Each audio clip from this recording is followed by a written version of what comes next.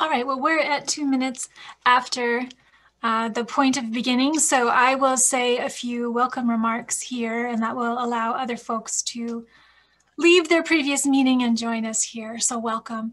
My name is Catherine. I'm with the Center for Ideas and Society, and we were so honored and pleased to have the opportunity to co-sponsor this talk as part of our Hot Off the Presses series. That's a series, if you're not familiar with it, that features book talks with CHASS faculty who have recently published a work. So we're very excited to partner with the Department of English on this talk and we're very excited to welcome you here today. And so at the beginning here, before I hand things over for the event proper, I just want to ask you to join with me in acknowledging that the land in and around UC Riverside and the places where we live and work has been cared for and tended and honored and respected by many people. The first peoples in this area, I'm referring, of course, to the Cahuilla, the Tongva, the Serrano peoples, the Luiseño peoples, and we have the responsibility and the honor to join with them, both to acknowledge our debt to their past caretaking, to co labor and honor in the present, and then an obligation and a responsibility to carry that labor and respect forward into the future. And so we just acknowledge that here together before we begin. So without further ado, I will hand things over to the Master of Ceremonies, John Ganim. Hello, everyone. Um, my name is John Ganim, and I am representing the English Department Committee on Colloquia. Uh, thank you all for joining. Uh, I'll just introduce our speakers very briefly, and we will plunge immediately into the program. Uh, at the end of uh, their 30 minutes or so, 35 minutes or so. Uh, if you would like to ask questions, just unmute and ask a question. If you would prefer uh, me to um, uh, funnel the questions, feel free to enter your questions in chat when we, the chat uh, box down below as soon as we finish with the actual formal presentation and move on to questions and answers. Uh, uh, again, a very brief introduction since I think you all are here because you know everyone involved. Uh, David Lloyd, Distinguished Professor of English and Chair of the English Department at UC Riverside, uh, one of the leading international figures in post-colonial studies and Irish literature. Uh, uh he, uh, a long, long series of books and accomplishments, and the most recent, of course, the edition of uh, Alfred Arteaga's uh, Xicancuicatl uh, and uh, uh, he will be uh, in dialogue as, as we usually do with Hot Off the Press with, with Ricky Rodriguez from Media and Cultural Studies at UCR, uh, author of uh, Next of Kin, uh, The Family and Chicano Cultural Politics from Duke University, uh, an award-winning book, and uh, presently working on several other books. He is uh, very active and prominent in several different fields. he co-edited a special issue of GLQ. his work has appeared in social texts, American Literary History, Biography, American Quarterly, uh, and a number, a number of um, uh, very influential uh, anthologies. Uh, in 2019, he received the Yarborough Mentoring Award uh, of the American Studies Association. And my favorite accomplishment is if you've never listened to his KUCR uh, radio program, you will be educated in uh, uh, byways of rock music that you may not remember or that you probably need to be reminded about. and so I will turn things now uh, over to, to David and Ricky. Take it away. Thank you, John, for that really generous introduction. And thanks also to Catherine um, for that really full and deeply relevant land acknowledgement. As we'll be talking about, Alfred Arteaga was a poet whose work honors um, the indigenous inheritance of the United States and of Mexico. uh, largely in the form of his deep investment in the legacy of Aztec and Mayan culture and his use of the Nahua language um, in, in much of his writing. And we'll, we'll talk more about that momentarily. And I want to thank uh, Ricky Rodriguez for joining me in what will at least start as a dialogue between the two of us and hopefully open out to dialogue uh, with all of you. And I want to welcome everybody here and thank you all for adding yet another Zoom to uh, your busy schedule of Zoom meetings. I appreciate that. And I also appreciate that we are being joined, at least as far as I know, by people from beyond UCR, as far away as Buenos Aires and Berkeley, California. And uh, it's, it's really great. And once again, along with the dialogical form that we're taking, that uh, widespread attendance is actually also in the spirit of Alfred's work. For those of you who don't know his work or his life, Alfred uh, was born in uh, East LA, actually, and also lived in Whittier and Montebello um, before moving north to have a career that took him to San Jose and to Berkeley, as well as further afield to an MFA program in Columbia for a year or two. And so um, in terms of being a California poet, he really does straddle both the South and the North of the state.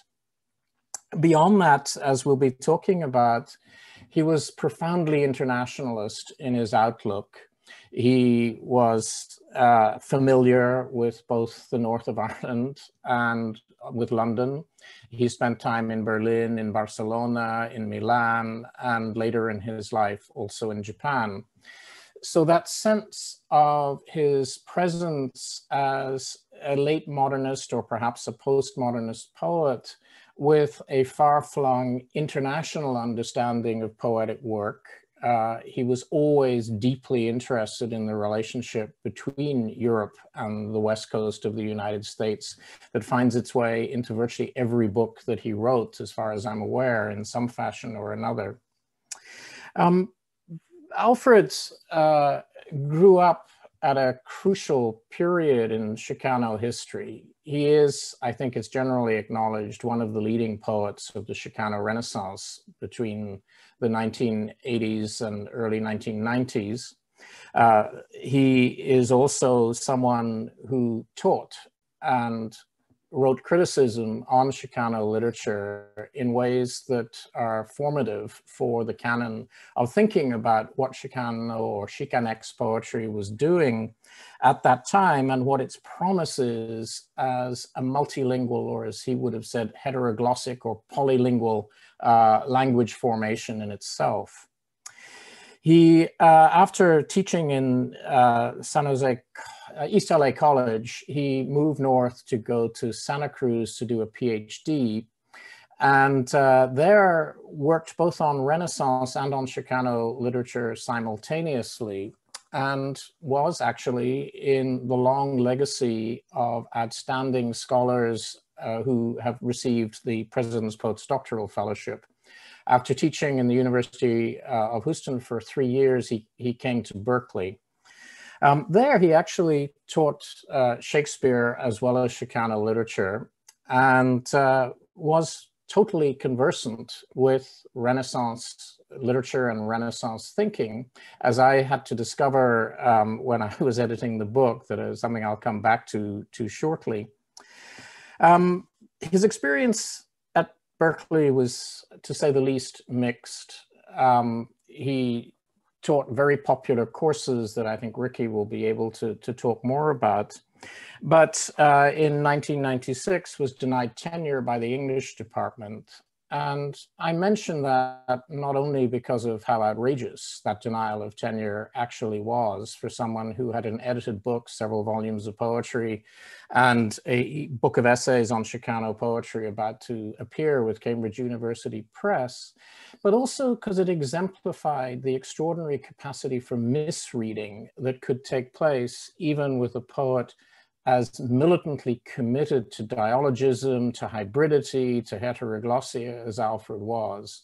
He was accused by at least one of his readers in the review process, one of the internal departmental readers, of having a messianic attitude to poetry that attached him to a kind of blood and soil nationalism.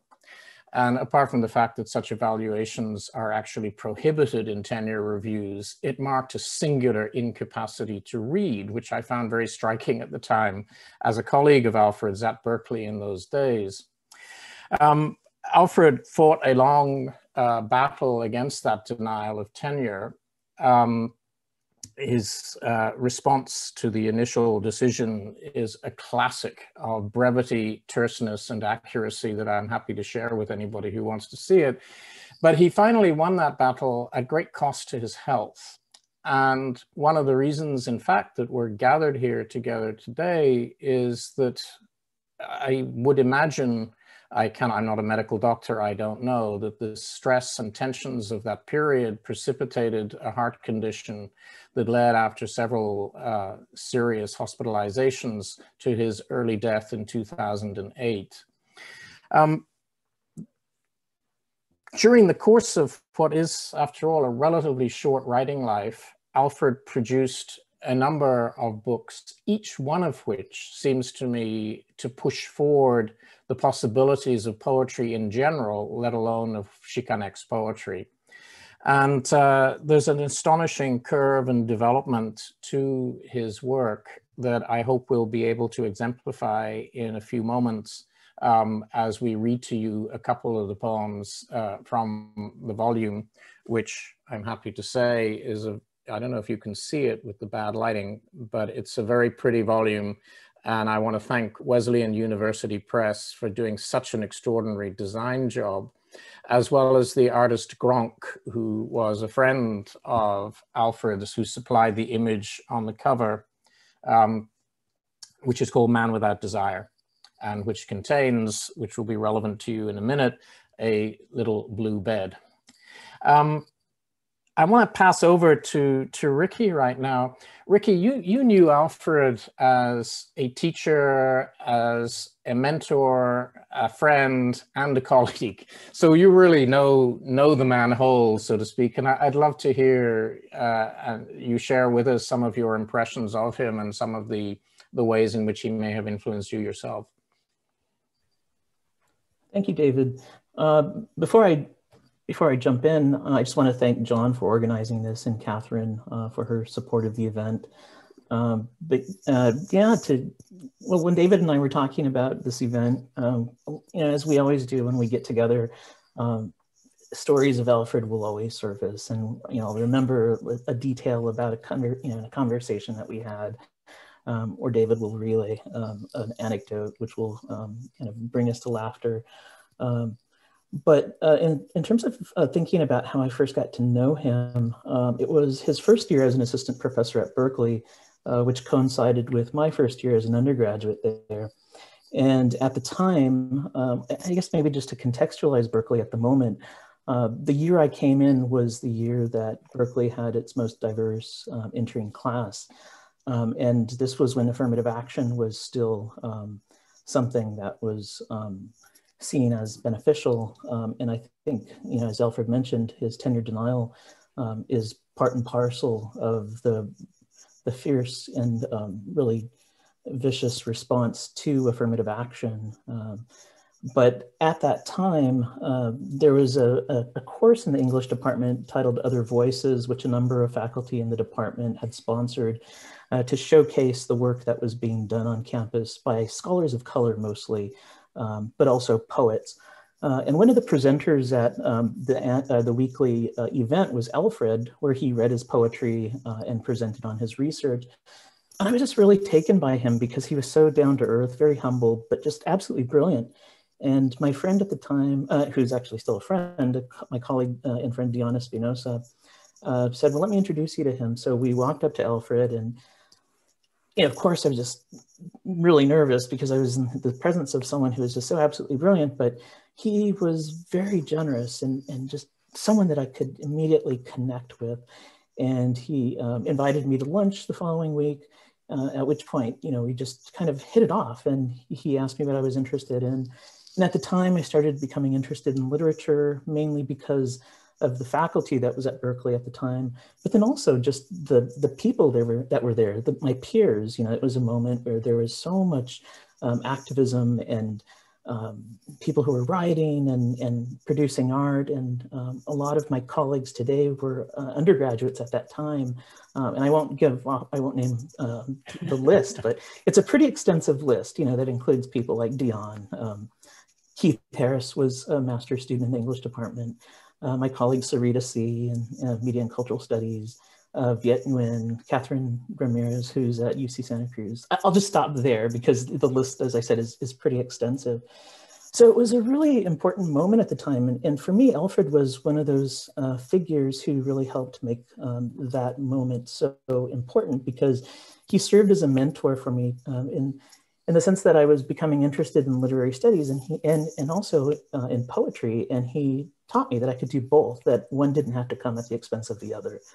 And his example uh, was, was one that I took very seriously. Um, and uh, he started telling me about Santa Cruz, uh, where he got his PhD and suggested that I apply to the History of Consciousness program, uh, which I had no familiarity with at the time. Um, but uh, that became my ultimate graduate school destination. Um, and he talked me up to Hayden White and uh, luckily I was admitted.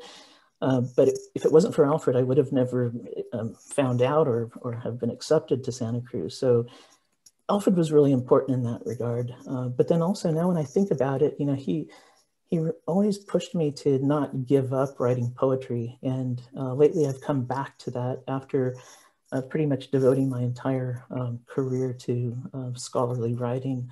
Um, and I'm kind of seeing how the two are really inextricably connected. Uh, that I can't really um, write scholarly work without writing poetry. Um, and so I really owe that to him.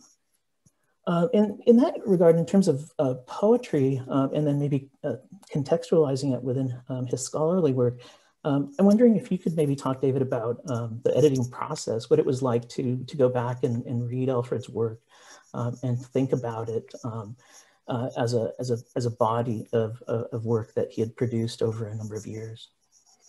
Well, let, let me say for a start that um, I hope the volume that I've managed to pull together um, is just a beginning. Um, I made the editorial decision primarily to focus on the work that Alfred had published uh, in his lifetime. There are a few additional things, but not very much. Um, I made that decision because I felt like in honoring Alfred's own work um, that it was important not to presume to publish things that he might not have felt were ready to be published. Um, however, um, with a, a, wonderful undergraduate research assistant, Diana Echeverria, who I want to salute and thank here today, I managed to compile a list of all the poems that were collected both in the volumes or that had been published in other forms in addition, um, Ricky managed to uh, put me back in touch with another uh, student of Alfred's, but also, as so often with, with Alfred, fellow poet and, and peer in a certain respect. I mean, his, his sense of the democracy of writing was deep. And Carolina Gonzalez, who was a graduate student uh, more or less at the same time, what I think of as having been extraordinary golden years in, in Berkeley, uh, also had produced a series of cartas or, or letters with Alfred in the early 90s, around the same time as Ricky was talking about. And I managed to, to locate her and, and get her to share with me uh, the exchange that they had produced, of which uh, only Alfred's side was actually published in the books. So we added that. And I also want to salute the presence here today of Ana Kazumi Stahl, a wonderful Spanish language writer who was also in Berkeley at that time, because included at the end of the book are, along with the, the work with Carolina, is a collaborative poem that the three of us wrote together one day using the, the French surrealist exquisite corpse mode of, of writing, where each writes two lines and sends on the second of those two lines to the next person in order. So you kind of blindly assemble a poem together. It's great to see you here, Ana, and thanks for being in the book. So um, the editing process was really the assembly of the um, five or six books, uh, one posthumous, the rest published during his lifetime. I say five or six because there's actually some overlap between work that was published as, as chapbooks and work that was collected in, in more formal volumes.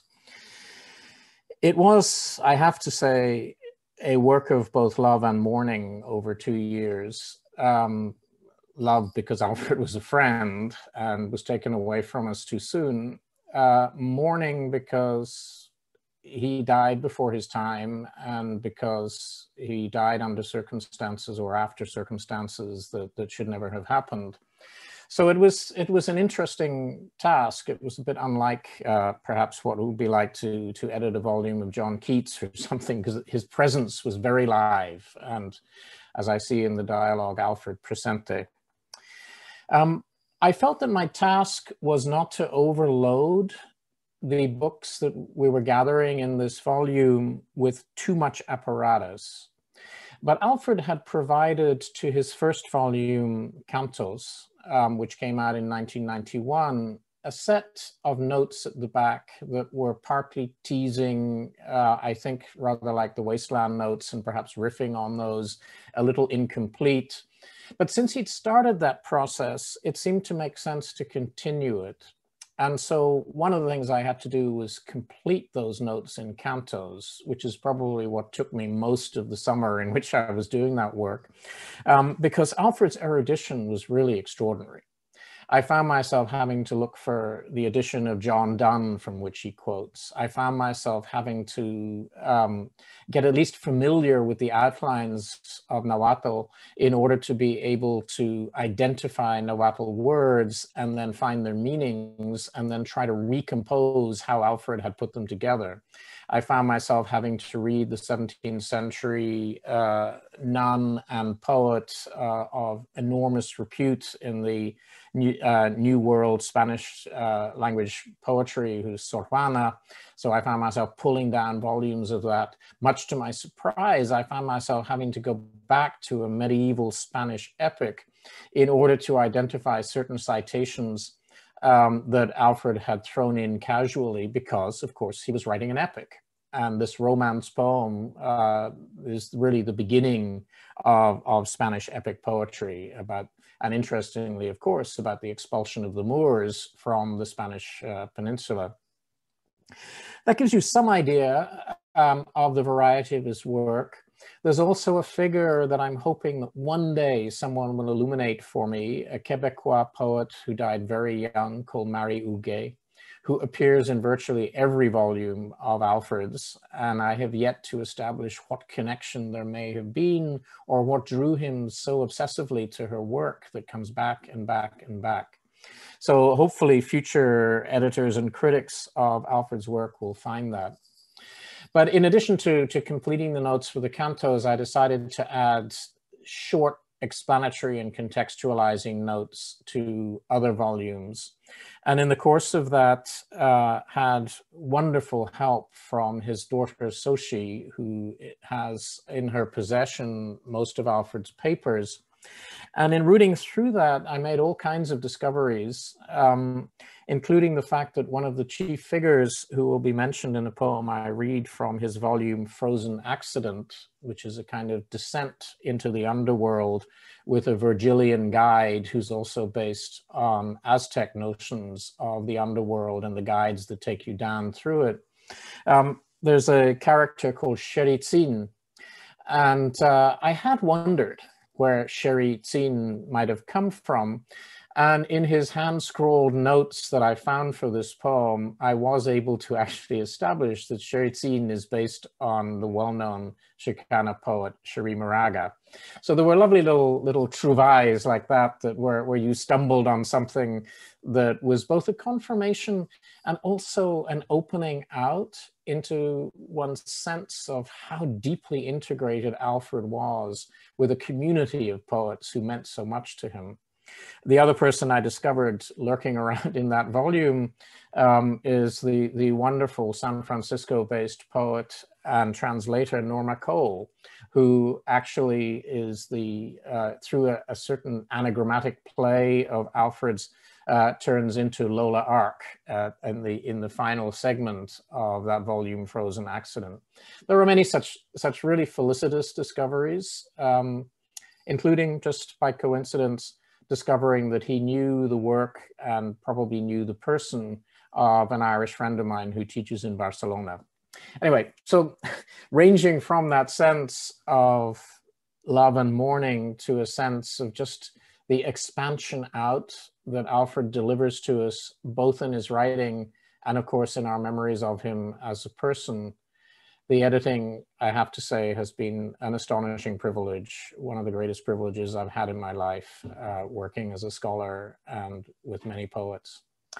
But um, Ricky, I think maybe it's time to, to read some poems from sure, so that sounds get a sense. Yeah. Well, we'd agreed that, that I would start by reading a poem from his first volume, Cantos. Um, Cantos is a very deliberate attempt to sketch. I, I, think one should say sketch because Alfred was not really interested in producing an epic in, in a kind of Poundian sense, but he was interested in thinking about what a poem of foundation would look like for a Chicano poetics. Uh, and as a result, what he produces is a series of poems that follow his own trajectory, moving between California and mostly Europe. Um, there's a very arch poem that also is full of swerve and swagger that I thought I would select from this volume to read.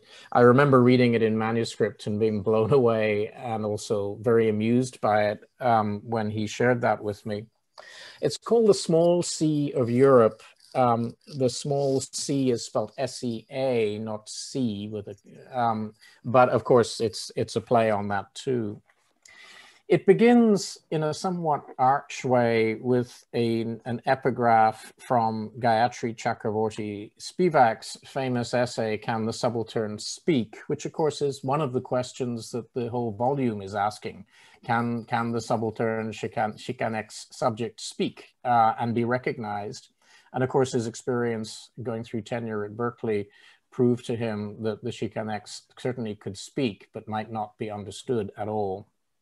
So the, the citation from Spivak goes, at the end of the 18th century, Hindu law, insofar as it can be described as a unitary system, operated in terms of four texts that staged a four-part episteme defined by the subject's use of memory.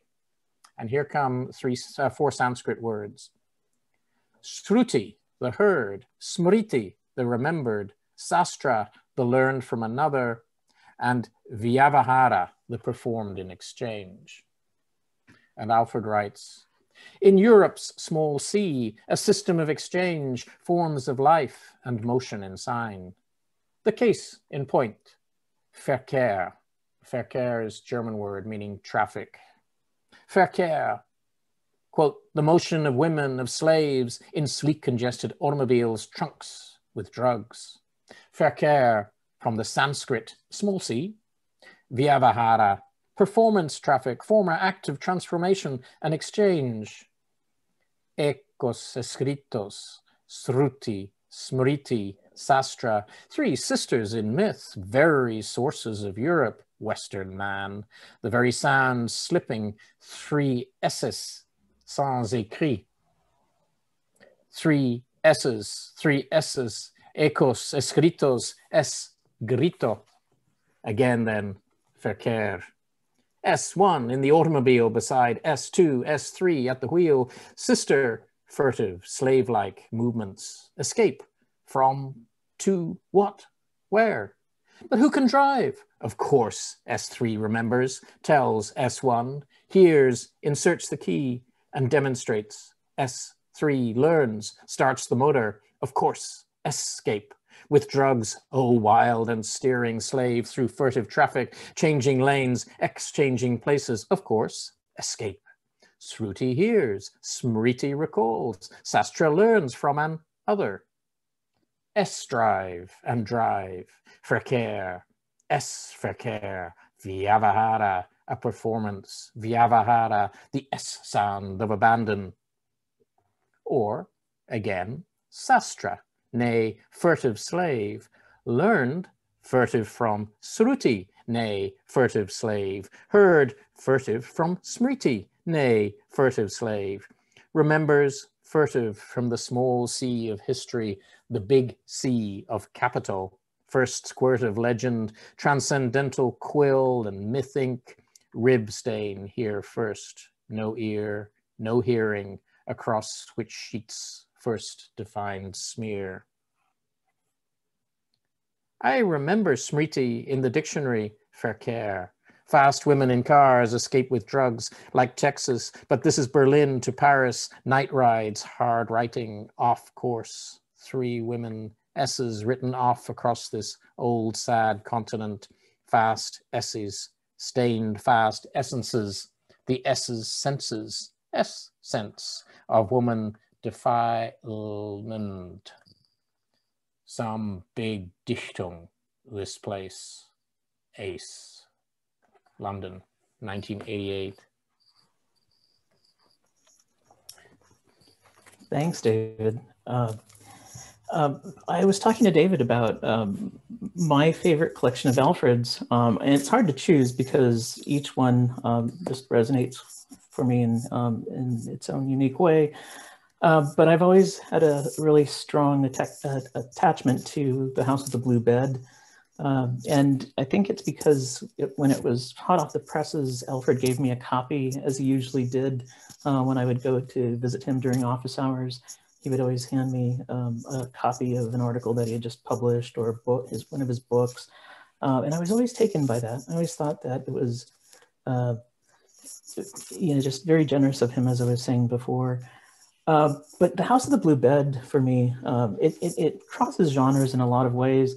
Uh, the book is uh, the book consists of uh, what could be called short stories um, or even narrative poems, and each one of the pieces um, relates to one another in really interesting ways. So that even though um, each of the entries can stand alone, uh, there's a way in which the book as a whole tells um, a somewhat coherent narrative, but I wouldn't call it a coherent narrative, but it just, it's just that it hangs together in the sense that Alfred's telling a story um, and each one of the entries um, contributes to this larger narrative uh, that constitutes the book. Uh, and so the piece that I want to read um, is a chapter entry poem uh, entitled Gun, uh, and this follows on his um, recounting uh, of, of, being at the Chicano Moratorium at Belvedere Park in East Los Angeles, uh, where he had been sent to uh, report on the incidents or on the incident of the, um, the protest, which was taking a stand against the war in Vietnam. And Alfred uh, talks about how he had um, resisted um, uh, going to Vietnam uh, by entering, by enrolling in school, and then also working at the LA coroner's office. And so um, this poem is preceded by um, the entry uh, titled Signs, which is about the death of the, the death of Ruben Salazar, uh, the noted LA Times reporter. And then before that, he talks about his role as working in the coroner's office and being exposed to dead bodies. So there's, a, I think each one of these uh, entries is connected through the theme of death. Uh, so let me just read you uh, Gun so when the police had my daughter in an assassination position, kneeling gun to her head, I took care to choose and phrase my words precisely. I pulled into the driveway when Junior, son of the deaf couple next door, ran up to me saying the police had Marisol at the end of the block. I wonder about Junior's self-articulation, being as he was mixed, half Chicano, but raised completely without the sound of parental words in any language. There were two policemen, a man and a woman, Anglos both. The man had the pistol at my daughter's head. My wife came up to me as I reached the scene. Both policemen watched us speak, watched the brief exchange by what was taken for an irrational Mexican mama and whoever I was to prove to be. I never did write the article about the police riot and the destruction on Whittier Boulevard that culminated in the deaths of Gilberto Diaz, Lynn Ward, and Ruben Salazar. The LA Free Press, radical journal that it was, had had plenty of eyewitnesses and analysis. So in the face of such a quantity, there was no need for any piece or for my piece. A week before, it did run a piece of mine that described an upcoming demonstration, what was to become the largest Chicano protest against the war. But the description of the event itself, of the chaos and the killing, I did not write because of a loss of faith. You see, the news reports, especially those on television, lied, not merely slanted in bias, but outright lied about wild Chicano radicals and innocent peace officers. I lost faith in truth and the hard link between world and event. So I extended what police want, absolute acquiescence. It was a small price for my daughter's brain left intact. I addressed the pig in my very best rational, liberal, humanist, Protestant work ethic, individualist, law abiding, and God fearing all American speech. I put to test the PhD in years of watching television.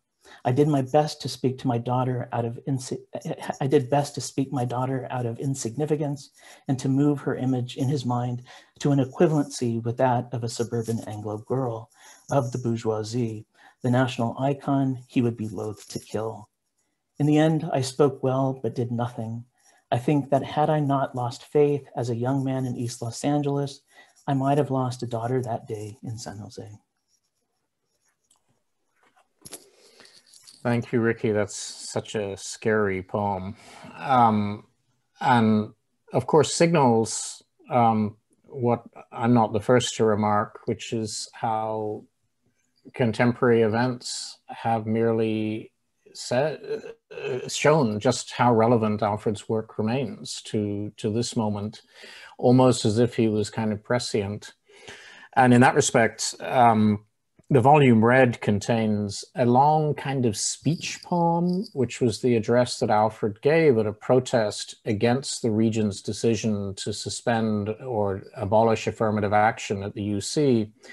And it was literally as I was putting the finishing touches to, to this volume in the summer, last summer, um, that the Regents decided 25 years after that day to um, reinstate affirmative action at the UC. So there was a sense in which the legacy of Alfred's work carried through into the present.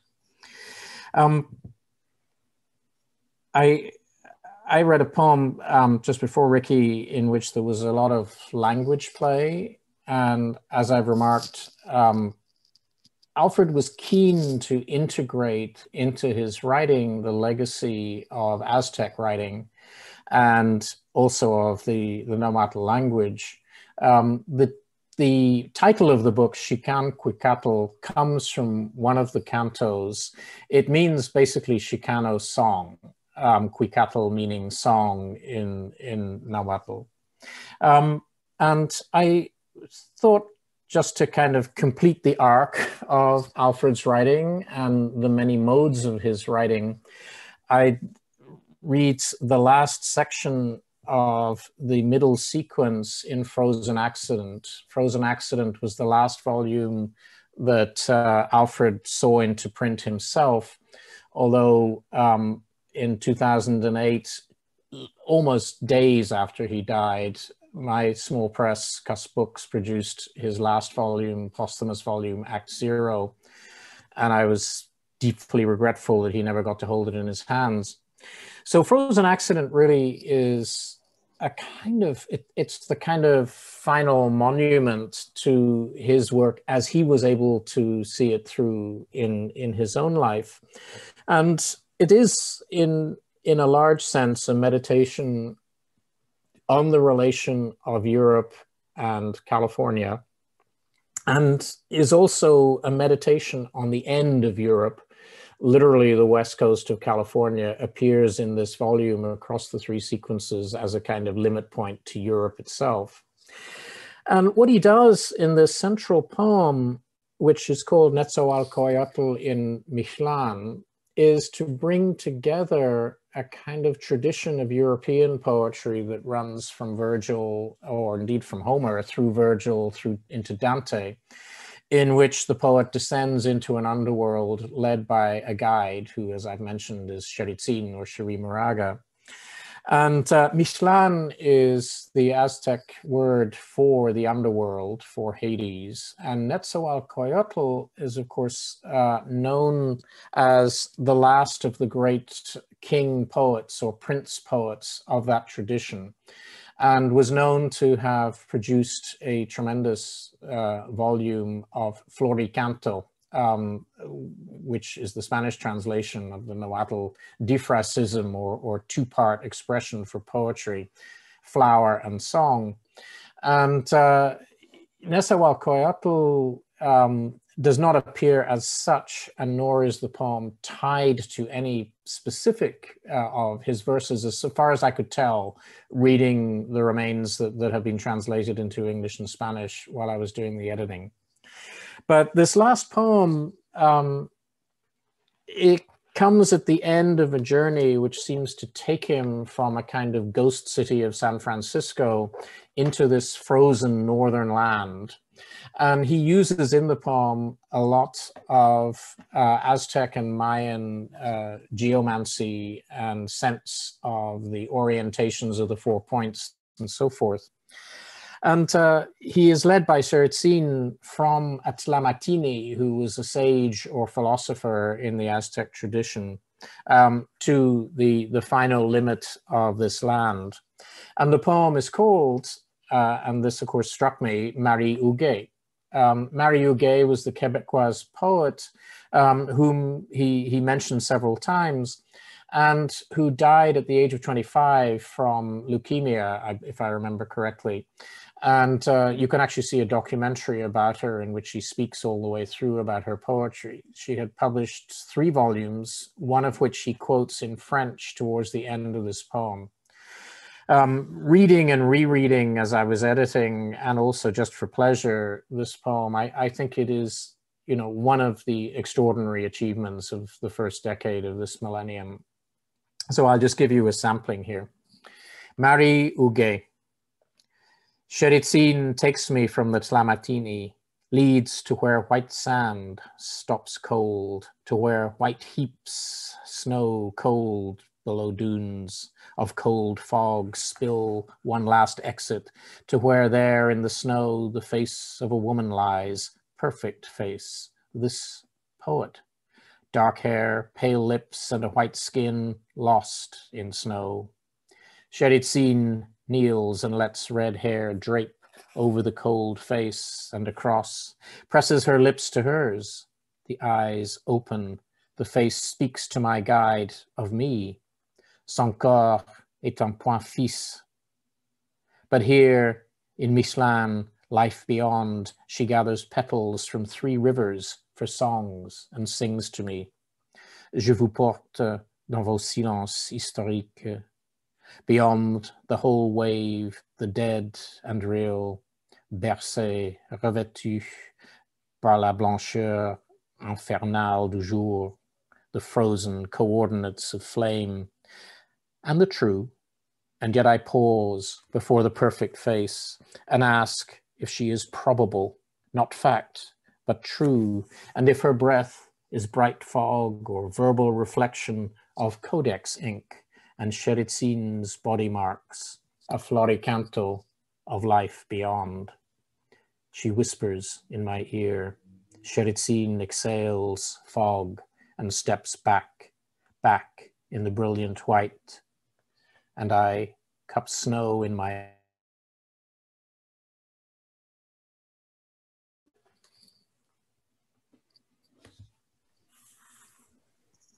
David, I was wondering if um, we could, uh, to maybe um, wrap up here, uh, turn to uh, some of Alfred's uh, scholarly work uh, to kind of show how his poetry is intimately connected to his intellectual inquiry.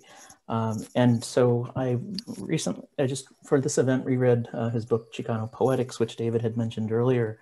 And um, I was focused on uh, the chapter Another Tongue, which interestingly is also the title of the anthology that Alfred uh, produced, in which David has an essay.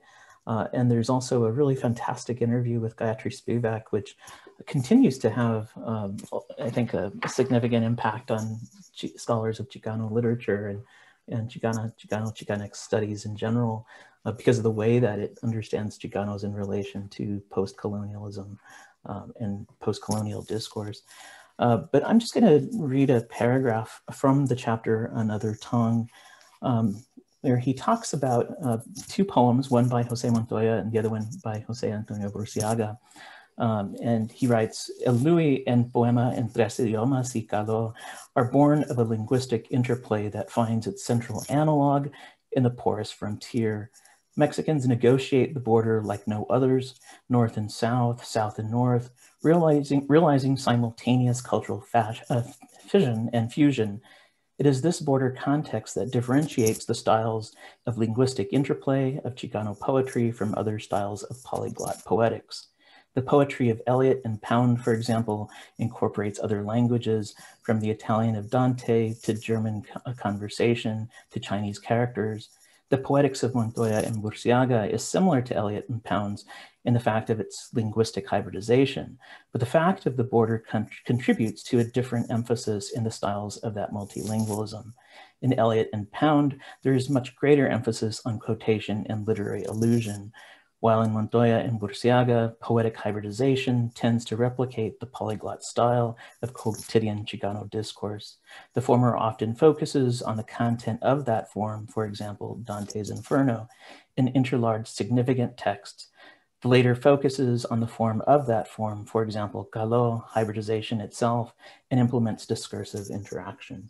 So I think from that passage alone, you can kind of see um, how you know these other poets that he's engaged with um, in ways that are obvious um, in the poem that David just read are also informing the way that he's contextualizing Chicano poetry um, in this critical discourse in terms of thinking about uh, the multilingualism of, of Chicano literature and the integration of languages um, and histories and cultures as they relate to uh, figures like Eliot and Pound, which I just found always brilliant, the way that Alfred was always able to just you know, just glide across different historical and cultural traditions um, and do it in such a way that just that um, didn't seem um, in the way that he's talking about poetry, you know, it was just kind of this very um, smooth transition from one tradition to another. Sorry, I'm can the scholar speak? Um, so I was struck by by his criticism, partly, I think, Ricky, because he's perfectly willing to integrate commentary on his own poems yeah. among, um, you know, writing about Burciaga or Montoya or um, Moraga or Anzaldúa. I mean, he, he will just insert one of the cantos and then riff on it for a while. And what's so interesting is that that really is not a poet's narcissism. It, it really is a gesture towards how he thinks about his poetry as belonging to a wider field of uh, New World writing, where what comes together is a tradition of Spanish language writing through Sor with a tradition of indigenous writing, with the tradition specifically of Chicano writing which in, in a sense is, is reflected in the title of, of Burciaga's poem. And what I found fascinating in Alfred's critical work was the ease and what, what you what you read really demonstrates that to me the ease with which he was able to communicate quite difficult concepts from literary theory and make them make sense in relation to a vernacular and almost in a vernacular I always felt that you know Alfred Alfred sort of talked Bakhtin. It was it wasn't like it was a theoretical language. It was just how he spoke, and and there was a way in which he had that relationship to theoretical work of complete ease and fluency um, that that constantly manifested itself. and I, I don't know how that came across in his teaching, which is another thing that, that I'm interested in in hearing more about because clearly he was formidably intelligent and probably quite intimidating if one came across him as an undergraduate, and yet capable of communicating and sustaining and nurturing at the same time. I think you hit it right on the nose, which is that he was able to translate um, complex theoretical ideas um, in a way that made absolute sense by showing uh, through examples of popular culture um, or um, as he says uh, in the passage that I said, uh, that I just read, uh, quotidian uh, Chicano experience, um, how these, these theoretical concepts play out um, in an everyday, um, on an everyday level. Uh, and so I, I, felt like I, I learned so much from him. Uh, I, I, actually did an independent study with him reading Gayatri Spivak's Can the Subaltern Speak? Um, and uh, we would meet at um, Cafe Milano on Bancroft, which is where he usually held office hours. And one of the most rewarding things about that, um, about him holding office hours there, is that he always seemed to draw so many people, and there would always be just a, a congregation of people from from different walks of life. You know, from the cafe workers to graduate students and undergraduates who wanted to drop by and have a conversation with him to uh, colleagues of his. Um, and I think that example just shows um, how he was able to communicate across different divides. Um, and that you know, really informed the way that he understood theory as, as, as not something that was impenetrable, a language that was impenetrable, uh, but a way to understand how, um, how, that, how things operate on, a, on an everyday level. Um, and you know, his teaching style was just was very open-ended, um, and I thought probably the most productive pedagogical approach that one could take because through that dialogic um, encounter, that conversation, you know, people were able to learn from him and each other, and he just you know had this brilliant skill in, in being able to orchestrate uh, conversations that moved in and out of theory and uh, just regular conversations about life. You know, Ricky, it's it's just struck me uh, that there was something about Alfred that went along with his interest in the Renaissance, um, which is that in some respects he was that kind of Renaissance man who loved the sprezzatura, as Yeats used to say, of, of courtly conversation and and that capacity just to engage in open-ended discourse and to do so with um, not only enormous ease, but enormous excitement uh, that he would communicate to everybody who was around him.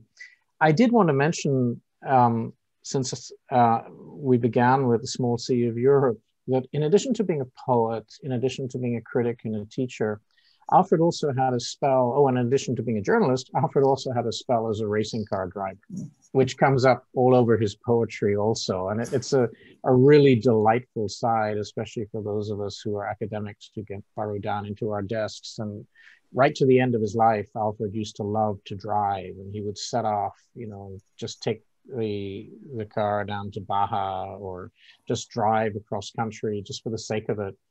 And uh, it was, I think, something deeply inspirational to him. And as you said, Ricky, he he really was a mentor who encouraged others to be creative. And I kind of wondered if we could end by asking you to read something of yours that, that Alfred, as you said, sustained. I think it would be a really nice way to, to segue into a conversation um, with everybody who's present today. Sure. Thank you, David. You, know, I have to say uh, uh, before I read something uh, that I haven't read my poetry in such a long time, uh, but I've been working on a book that is largely influenced by Alfred's work. Um, and my first time reading my work, interestingly, was when Alfred invited me to read with um, Luis Rodriguez and Lorna Dee Cervantes um, at Berkeley. Uh, he was organizing the um, weekly poetry readings in, in the Maude Fife room, um, sponsored uh, through the English department. And I was this undergrad who had just started taking poetry workshops with Yusef Komunyakaa um, and had been sharing my poetry with Alfred.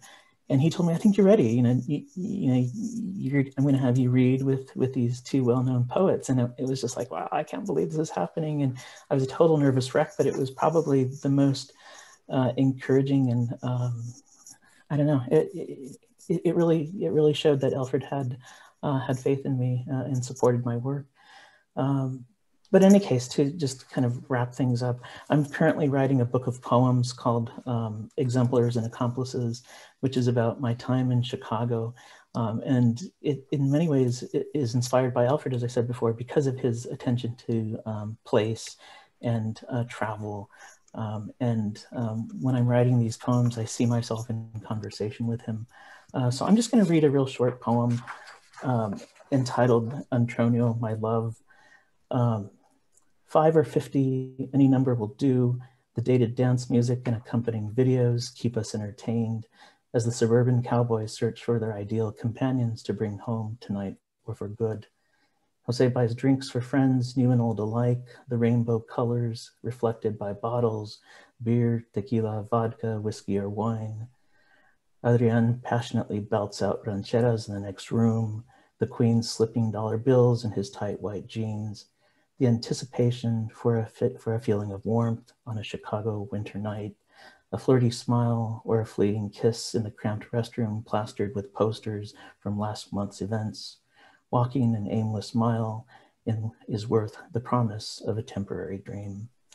So that's just one of, uh, of, uh, of, many of these poems that I've uh, been writing, uh, reflecting on the 10 or so years that I lived in Chicago. Um, and because of Alfred, I feel like I'm, um, I'm, I'm, being encouraged to go ahead and complete this, uh, this book and also just to kind of revisit the importance of poetry um, on me uh, as a writer and a scholar. So thank you for in, inviting me to do that, David. Oh, no, Ricky, it was great, great to hear you because I've never heard any of your poetry or even read any of your poetry. So it's a real privilege to, to get to do that. And I could see Alfred grinning over your left shoulder there. and, and also poking fun at me uh, in the way that he usually in, did. In that very um, generous and gentle way, yes. Yes, yeah. yeah. yeah. Well, maybe this is time, John. Yeah, I was going to say, folks, it might be, uh, I don't know how much time we have uh, before the Zoom meeting ends, but I think this is a good time uh, for people to ask questions. Feel free to unmute yourself and ask a question, or if you would prefer, enter your question in chat and I will ask it for you. Uh, I just want to point out that uh, David has provided in chat a link to uh, where to purchase the book. So uh, that may be something some of you are interested in. Normally we'd have copies available. So please feel free to unmute and ask a question if you'd like. Go right ahead.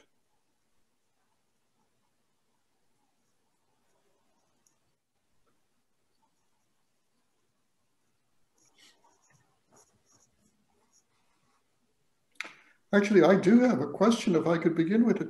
Do we have any recordings of Alfred reading his poems uh, anywhere? Uh, it may have been, you know, before the age of everything being available online. Actually, yes, John, we do. Um, I'm not sure what event or what occasion the, the poems came from, but his daughters put together a CD of him reading mm-hmm. half of which is just him reading, and the other half is the same poems laid down to a beat track that I believe one of the boyfriends uh, was able to put together. Um, I don't know how available that CD is, but I do have a copy of it.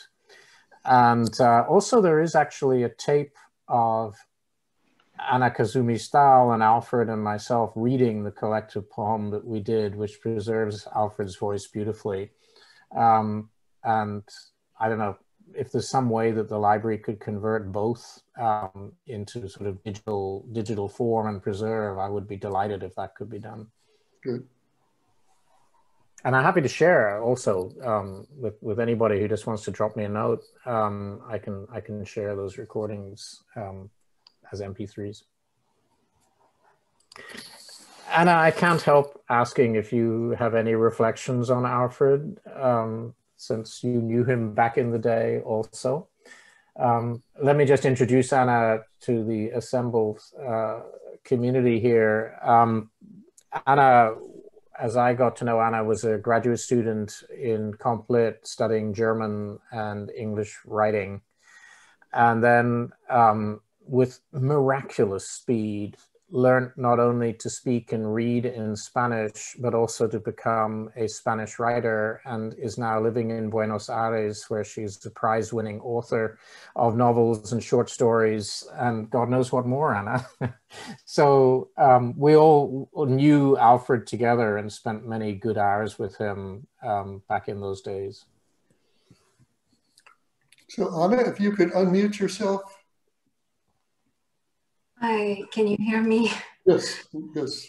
Um, right. Well, only someone who's been so intellectually generous with me as David could put me on the spot and still not make me feel bad. Um, it's uh, such a strange and wonderful experience to be hearing Alfred's work and words um, through your voice, David. Um, so lovely to hear you, um, Richard, Ricky, um, because when you read, I can hear him. Um, and of course, I think probably Rob also, um, at least one other person that I see from the time that um, I was a student at, at Berkeley hanging out at the Cafe Milano. Um, I recall uh, this sort of um, thrill of, of, listening to Alfred when he spoke, um, also when he taught, when he read, um, this sort of incredible speed, this agility, the kinetic quality of his thinking and his creativity. And I think mostly what drew me to to him and, and to be interested and thirsty to listen to him and just watch him in action was this almost um, it looked like alchemy. It looked like you know something really uh, remarkably marvelous magical but actually it was just this capacity to pull together things that seemed or are often thought of as disparate and really uh, spell out begin to make perceptible the co-constitutive co-constructive elements in the relations I was really drawn to his interlingual capacity in his writing because I was beginning to try to toy, toy with that myself and began to recognize almost with his enthusiasm that uh, there is possibility there and it can end up reflecting something that is not readily available in more conventional forms. So he had this incredible, thrilling um, capacity and he was setting it in motion constantly, whether over french fries, over a beer, with music, with this speed car that really kind of, I confess, freaked me out as a friend because he really did uh, love it, uh, almost more than life. Um, but yes, I thank you for the chance to share these memories. I listened to the YouTube of the previous presentation. I've listened today with that same feeling, just a commotion of things possible, and yet mixed with this sadness as well. Um, feels like a convocation, though, to read him and, and to write and to speak um, at his behest. So thank you, and um, saludos.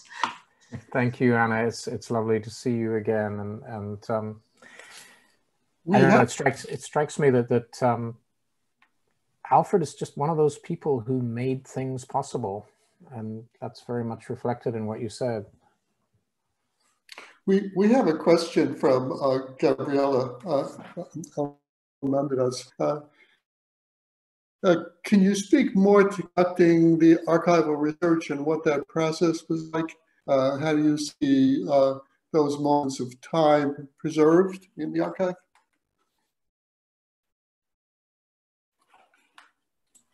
Sorry, in the archive? In the archive. Can you speak more to conducting archival research uh, and what that process was like? Gabriella, if you want to unmute and ask more directly, feel free to do so.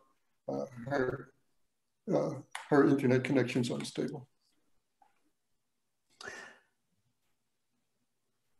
Okay, I was just waiting for Gabriella. Um, well, this is one of the occasions where much of the archive is really informal. Um, for example, there's a, an archive of um, copies of cantos sitting under somebody's desk that I know. There's a handful of House with a Blue Bed sitting, you know, in one of the daughter's house. There, but above all, um, there are boxes of papers of Alfred's and somewhere else a laptop that presumably contains a lot of stuff. And at this juncture, no one has really systematically gone through the materials which have not been archived in any formal sense. They're just there. And frankly, I think it's it's too soon for the family to want to go through that process. I mean, it's only been 12 years since Alfred himself passed away. And the the job of sorting out what's intimate and private and, and what could actually be of real use to scholars working on his texts is is hard to say right now. Um, I went through it fairly quickly, really just in search of manuscripts of the poems that I was editing. Just just occasionally there were things I couldn't tell if they were, uh, you know, instances of compositor's error that, that should have been corrected or whether Alfred was deliberately playing. And this is one of the hard things about editing his work because sometimes he deliberately introduces error or introduces um, mis apparent misspellings that are actually puns and that sort of thing. So I was trying to establish that. Um, in the course of it, I came across a whole manuscript of a work that was in progress when he died that I hope some future editor will weigh up um, whether it needs a further edit that they would be willing to undertake or whether it should be published exactly as it is and so forth. These were not decisions I felt ready to make so it's it's an interesting experience and i know a, a, lot of my colleagues in english and, and beyond here have experience working in in more or less informal archives um, archives that are not you know housed in institutions but are simply what maybe a community or a family has kept of people's work from behind in which an awful lot of work that could be out there in public has been stored and uh, time will tell, you know, just how much of, of Alfred's archive will be entrusted to a library somewhere. But I, I really do hope it will because I know I just scraped the surface and managed to establish a few things that were of use to editing. But I suspect there's an awful lot more. I suspect that there is a fascinating biography to be written and of course, those were not the materials I was looking for because I wasn't trying to do a biography, but I suspect that material is there um, in abundance, both through conversation. And I'm, I'm very much hoping that, that, you know, some graduate students, some undergraduates will want to begin the process of interviewing people who knew Alfred in order to establish um, a kind of recorded archive of memories of him and of details about his life that certainly in the time I had to edit, I was not able to to establish or confirm. But I see Ruben has a has a hand up there. Yeah, hi. Uh, yeah, first I want to thank you, Ricky and David, for your work on this and, and for putting this together. I really appreciate this. And Ricky, I'm really excited to read your book, uh, more of your poetry. Um, I, I my question about Alfred is um, it really strikes me this idea of being a kind of Renaissance type and his kind of uh, how he was um, navigating and, and, traversing different worlds, specifically, you know, creatively and academically. Uh, and I'm kind of piecing together a sense of, of how he did that. But I was uh, wondering if maybe um, you could talk a, a little to that from your experience of um, uh, just uh, I guess how he was able to be in in both of these worlds successfully and maybe sometimes not successfully, you know, uh, based on his the tenure experience, right? And those kind of academic pressures and how they um, impinge on, you know, creative efforts. Um, but, but if you could maybe speak to that uh, of, of just the uh, more kind of specifics of how he was able to to kind of maintain that creative spirit even as he worked in within academia, right? Ricky, go ahead. I just think that he he refused to be boxed in or pinned down, um, and as a result, uh, you know, people didn't know how to respond to that. I think that had a lot to do with his uh, tenure denial, that he didn't play one particular role that people expected him to, and he he was just so interested in, in, in a number of different things, and and they weren't just mutually exclusive, as I think we've been saying, but they just overlap in, uh, uh, in generative ways. And he just refused to play by the rules, uh, which is something that I always admired about him. You know, when I found out that he wrote a dissertation on Shakespeare and Sor Juana Inés de la Cruz, it was like, whoa, what's, you know, that, is that, that's possible?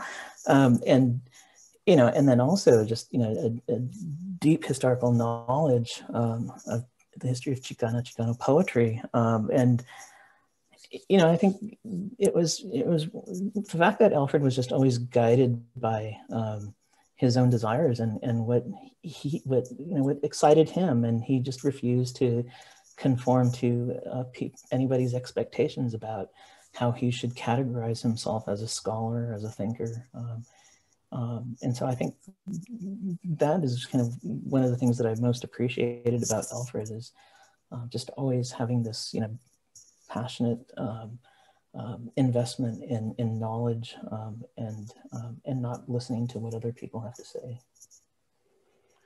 Yeah, I'd agree. I mean, I, I probably shouldn't have used the term Renaissance man because Alfred would have laughed me out of the room for using a term like that. But I think it, to, to kind of get that off its its high horse, what that really means is someone who's insatiably curious and to whom everything is interesting. And that was Alfred.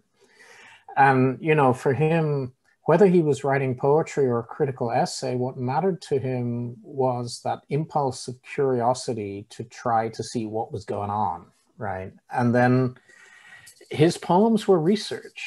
I mean, writing the notes from I realized just how much research he did you know, and in all and in all kinds of areas. You know, he was sort of reading up Frida Kahlo's notebooks, and he was reading Gayatri Spivak, but then he was also, you know, tromping around Belfast looking at Bobby Sands' grave, and that was research too. It wasn't just because it didn't take place in a library didn't mean that it wasn't actually part of the way he kept researching his world and looking for connections and so forth. And I think that sustained him all the way through it is my sense that that um, after Chicano Poetics was published and after his tenure battles were over, he wasn't particularly interested in writing formal criticism anymore and, and playing the academic game in that respect. But I don't think that meant in any sense that he gave up his constant intellectual reflection on things. And I, I mean, I would say in general that um, academia does make it hard to sustain a creative writing life. And it's not because academics are dry and boring and all the things that sometimes get said. It's because anybody who's doing the work of teaching knows that that involves creative energy. And even anybody who's writing articles knows that it does take creative energy. And there's so much energy one has uh, to, to, you know, to, to produce work in either sphere and I think that that trying to strike that balance is is a difficult operation and takes a considerable degree of will to maintain. But Alfred, I think, resolved it, as Ricky says, by by just not worrying about the rules. I mean, he he didn't feel the need to kind of dot every I and cross every T in, in academic procedures. And yet you know, when he responds to a tenure judgment in half a page, it's brilliant. I mean, he, he succinctly articulates exactly what happened in three lines. And, and that capacity to condense, which is of course Dichtung, um, condensare equals Dichtung. Um, the, the Dichtung is, or poetry in German is concentration or condensation of things. And that was part of his gift and that sort of elliptical way of writing and condensing stuff together is is just so characteristic of his work.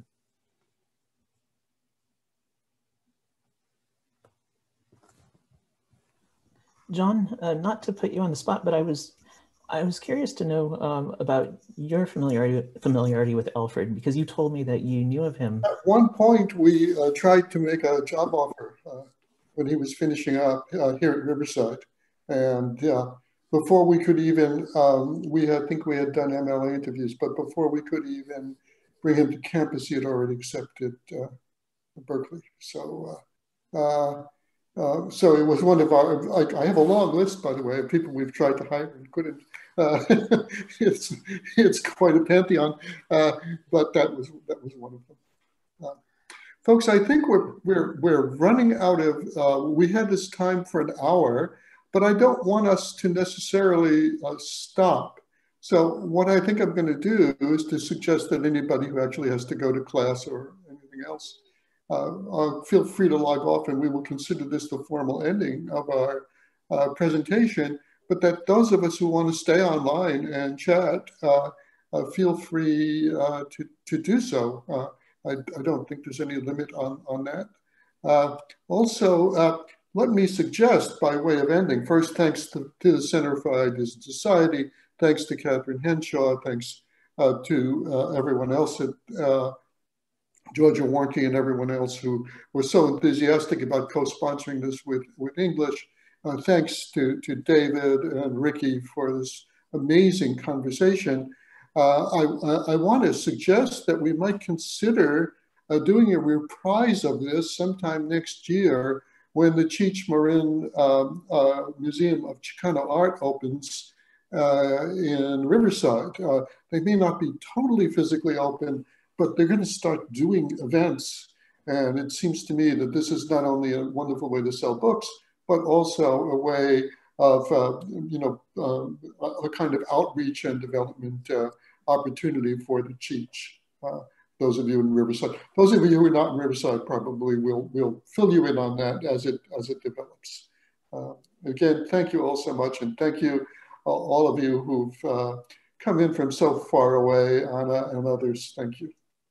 And thank you, John, uh, so much for suggesting this occasion in the first place and for doing such a wonderful job in putting together our roster of, of events for this quarter. Um, could, I, could, I, put a word in for Emma Stapely said, let's get David to do a presentation on it. it was Emma who was a member of the committee who, uh, whose idea was originally. Well, thank you, John. Thank you so much. Yes, thank you, John. Great to see you, Rob. Ana, let's talk soon.